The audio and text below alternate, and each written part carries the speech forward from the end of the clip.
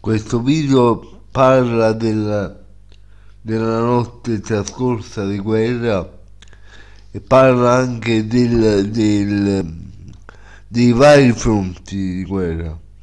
Ho utilizzato qui i servizi del TG5 e del TG4 che ringrazio per avermi per quello che stanno facendo che veramente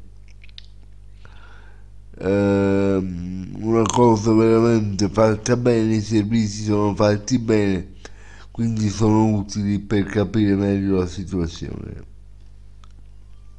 nelle ultimissime ore si sono fermati scontri e bombardamenti, almeno a Kiev, nell'attesa dell'esito dei negoziati. La capitale è completamente svuotata per il coprifuoco, stamane appare relativamente tranquilla.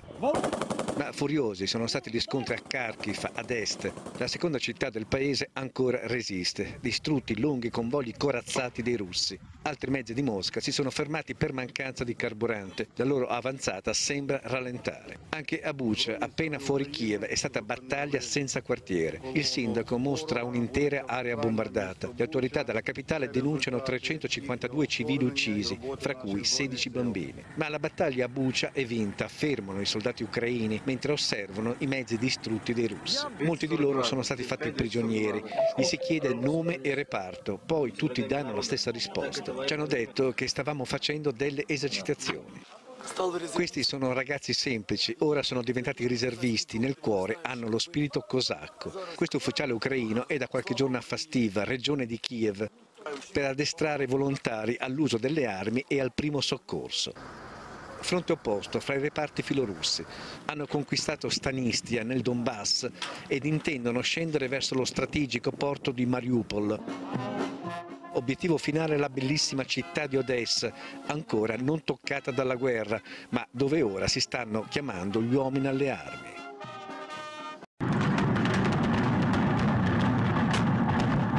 Le immagini arrivano da questa abitazione di Kherson nel sud dell'Ucraina e raccontano una notte, la quinta di guerra, riempita dai rumori delle esplosioni di colpi di mortaio, missili e mitragliatrici e preceduta dall'ordine di Putin di allerta del sistema difensivo nucleare. Alle tre ancora un'ondata di boati ha scosso dopo alcune ore di calma apparente Kiev e Kharkiv, dove da ieri infuriano i combattimenti con le truppe ucraine che avrebbero riguadagnato il controllo della città.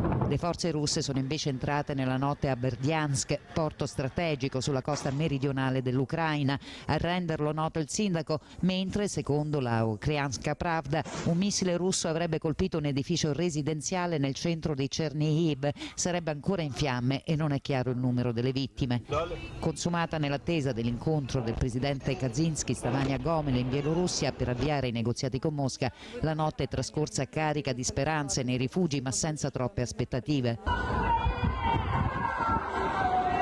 Gloria all'Ucraina, urlano in coro centinaia di persone fra le abitazioni di questa cittadina bielorussa a dimostrazione della solidarietà fra le popolazioni. Eppure proprio il paese del dittatore Lukashenko, secondo il Kiev Independent, in una notizia tutta da verificare, sarebbe sul punto di entrare in guerra al fianco dei russi. Anzi, i suoi primi paracadutisti potrebbero essere già decollati alle 5 ora locale per unirsi alle truppe di Mosca, dopo che nelle scorse ore è passato un referendum costituzionale che consentirebbe alla Russia di installare installare armi nucleari sul suo territorio. Uh, Kiev è circondata ed è ormai impossibile un'ulteriore evacuazione di civili, ha detto ieri il sindaco, quando il bilancio delle vittime è salito ad almeno 352 civili uccisi, inclusi 14 bambini. Non è chiaro invece quante possano essere le vittime russe. Nella notte è stato diramato da Kiev il video della distruzione di una batteria di missili russi con un drone. Intanto l'OMS lancia l'allarme. Negli ospedali ucraini manca l'ossigeno, le riserve bastano appena per le prossime 24 ore.